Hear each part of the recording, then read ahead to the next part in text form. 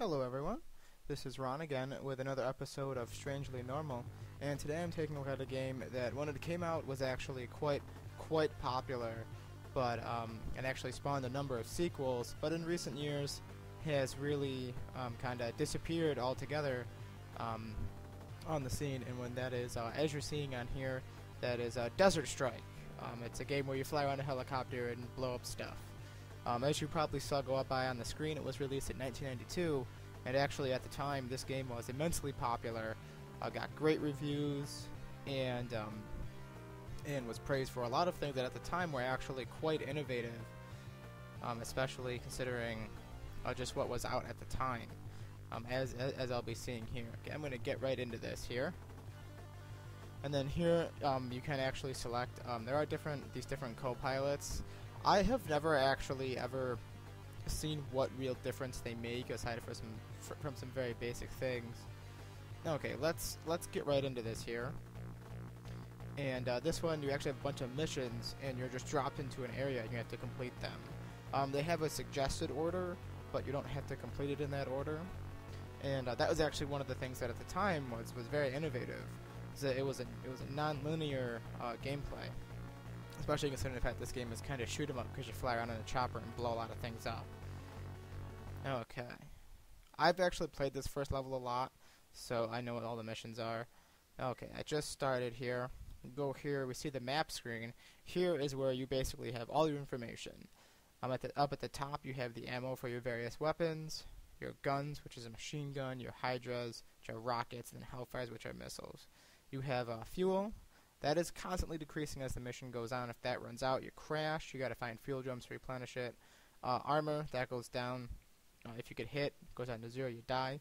Load. Um, you can actually pick people up in this game, and there are and there are friendly soldiers you can pick up, and um, and you actually take them back to a landing zone. And that's actually one of the ways you can get repaired is by taking soldiers back to the landing zone. It actually ups your armor if you're damaged, and then of course the number of lives and a score.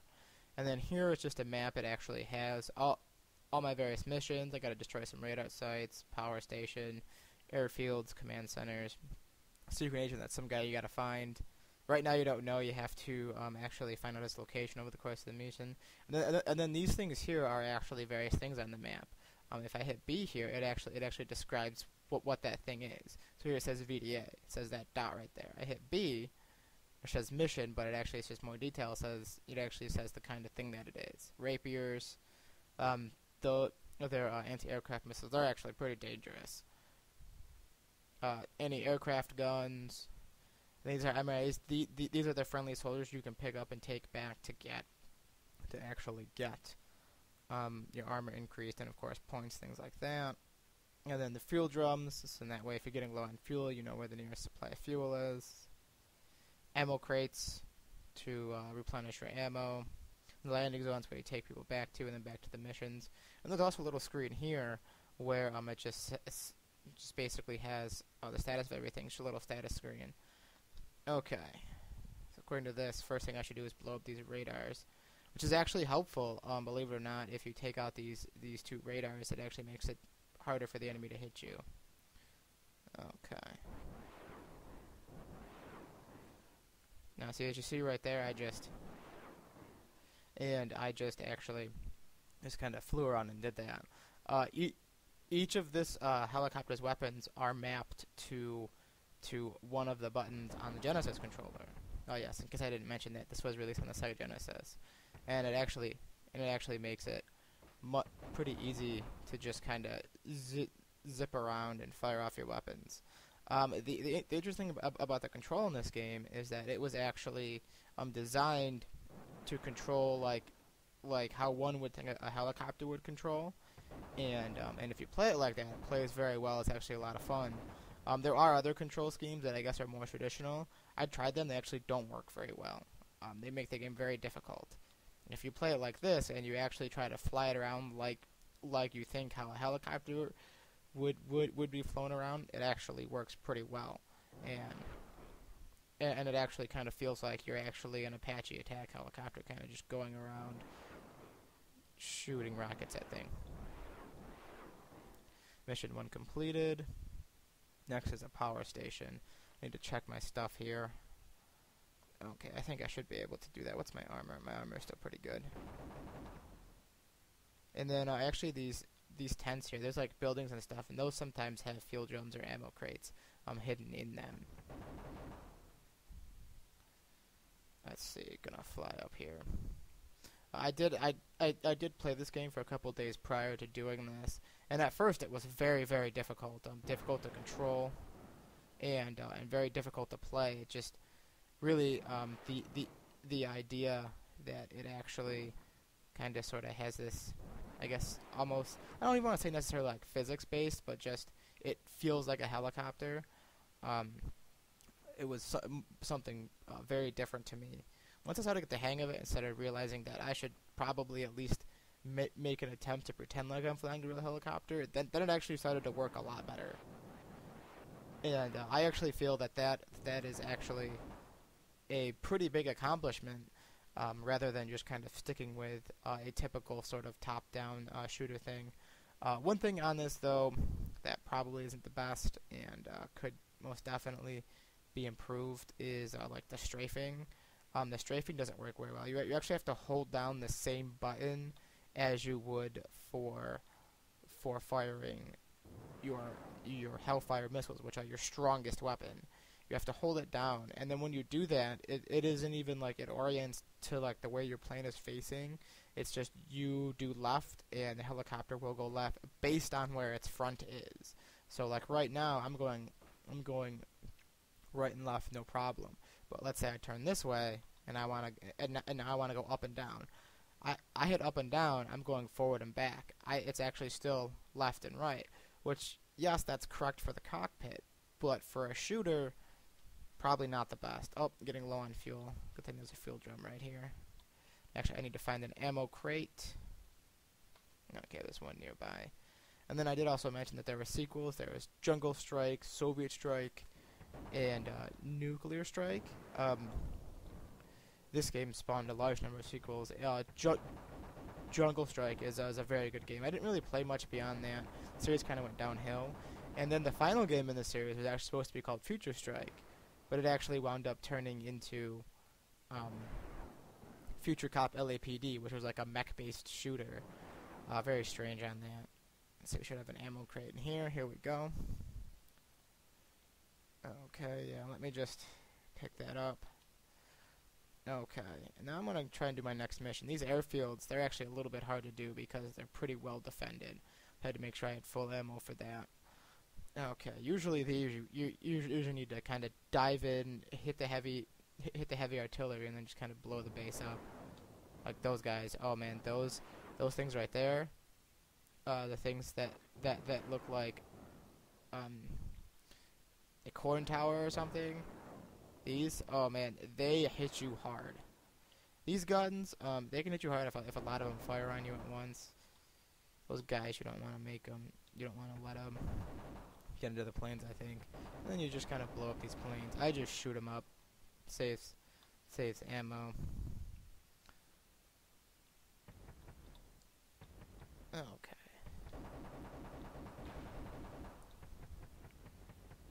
And uh, and as I mentioned at the time, uh, this game is actually not non-linear. I can I can go and do the other missions in whatever order I want. If I wanted to go and attack those command centers, I could.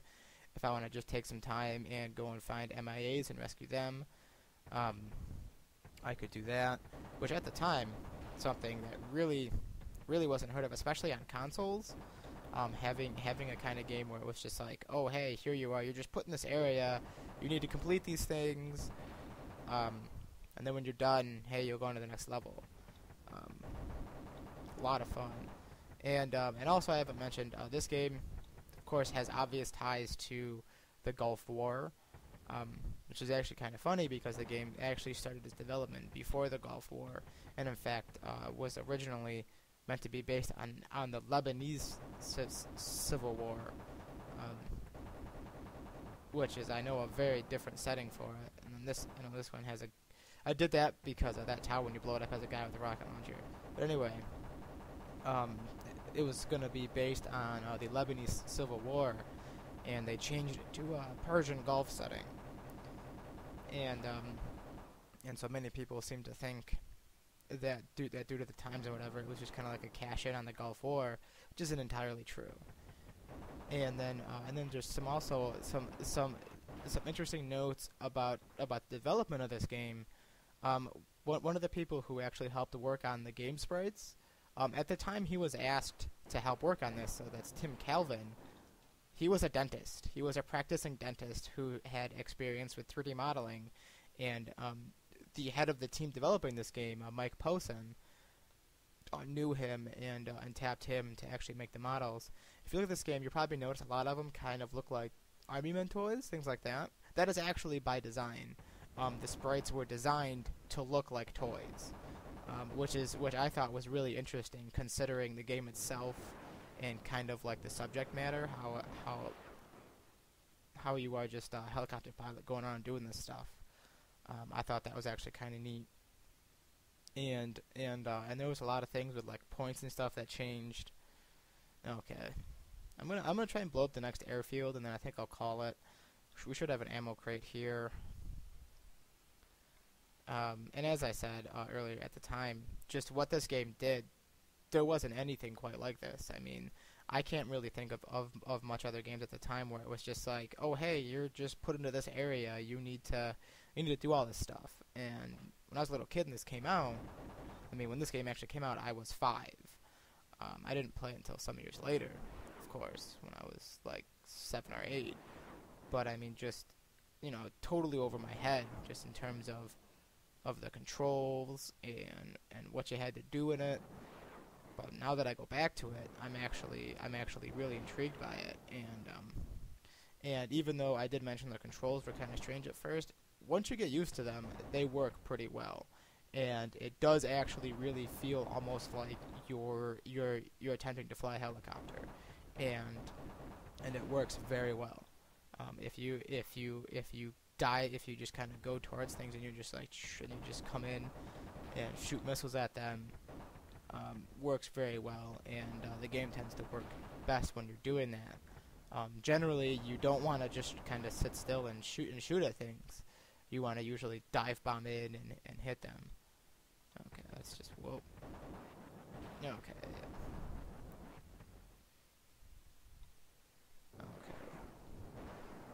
I'm just gonna blow up this airfield, and then I think, uh, and then I think just to show you real quick uh, what happens when you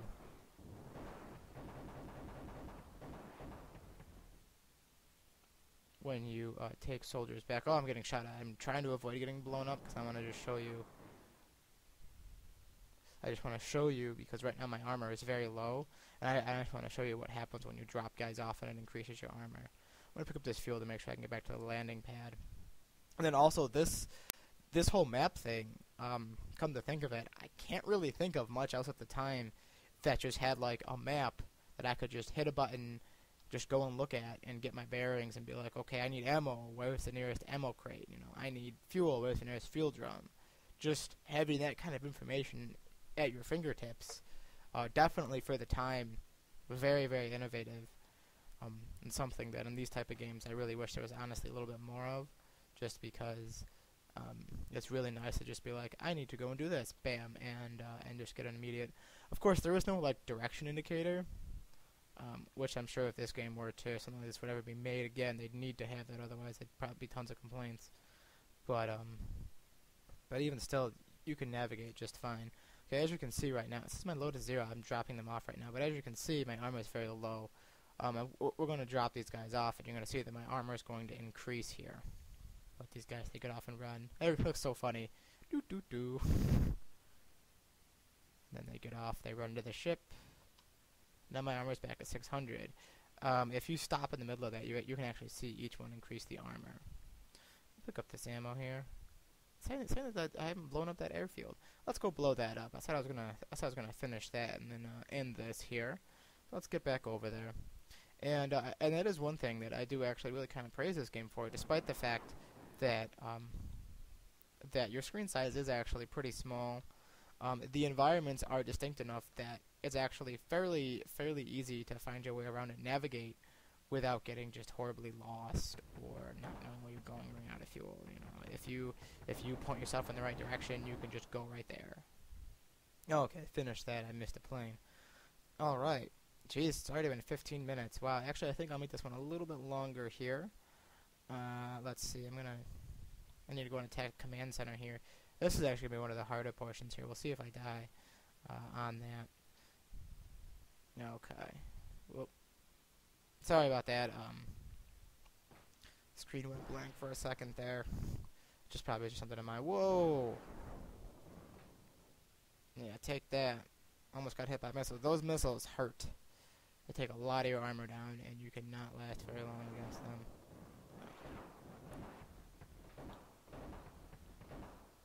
Of course, sometimes you get situations like this. Okay, let's see here. Ugh.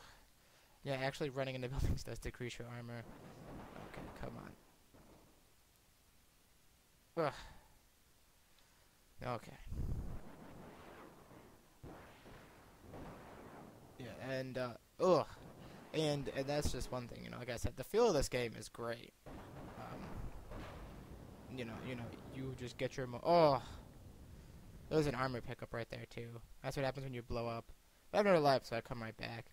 Um, actually, hold up. I think I'm gonna end this with with me running out of lives, just so I can show you um, the game over screen. It's great. It's got great music. Okay, let's find the nearest. Okay, the nearest one of these. I'll let them blow me up a couple times here, and then I'll just uh, call it just after we see that. Okay.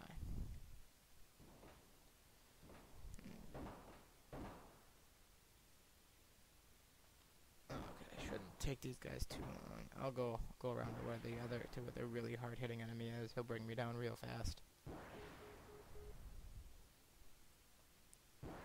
Yeah, he's bringing me down. Oh, I died. We'll die. We'll die one more time, and then we'll get to see the game over screen, which I think is just, uh, which I think is, uh, is just a great game over screen on this. Come on. Blow me up. Finish blowing me up. And I, and I know that right now I might probably make it look like your your helicopter's really tough. It's really not. You you get going, you get doing things. You realize how fragile your helicopter really is. There's the game over screen and uh, the great music on this, which is which is a which is always just I just think it's great. Um, it's like funny. It has almost this almost like Top Gun sort of feel to it. Um, but anyways, uh, that Desert Strike uh, it's a great game. A little bit hard to pick up, but once you do, a lot of fun to play. Um, believe it or not, I have actually made it past the first level in this game. It's pretty difficult to do that. It looks like it restarted. We're just going to pause that and finish this out. Um, uh, with this, um, I th I think this has been uh, re-released on collections. I know it got re-released on uh, Game Boy Advance, and uh, as as well as some of the sequels. Um, I would I would really like to, to see them maybe go back to this and remake it possibly in HD with some very nicer sprites, or even make a new one that's still kind of 2D-ish, um, but but with very similar uh, controls and systems. I just think that it would be it would be an interesting idea. Then again, um, I don't know. Uh, the the flight genre in general hasn't been faring too well as of late. Uh, with that, and um, and I also wonder if maybe people wouldn't want kind kind of a third person helicopter perspective which I mean would be all right. But I just just this whole like it really feels like you know you're just like commanding this chopper and you're just in a battlefield doing things. I think I think that if it was done appropriately and it really had that sense of you know here's all the info, here's your stuff, you know plan out your attack and do it. I think it could be a really big success. Um, so uh, that's it for this week. Um, thank you very much again uh, for watching. Uh, stay tuned for next week's episode on that. And of course, as usual, if you like, like the video. Any comments or suggestions, always greatly welcome. Um, there is a Facebook group. You can send me an email. I'll have those posted on there as well as uh, and follow me on Twitter. And um, thank you very much once again, and I will see all of you next week.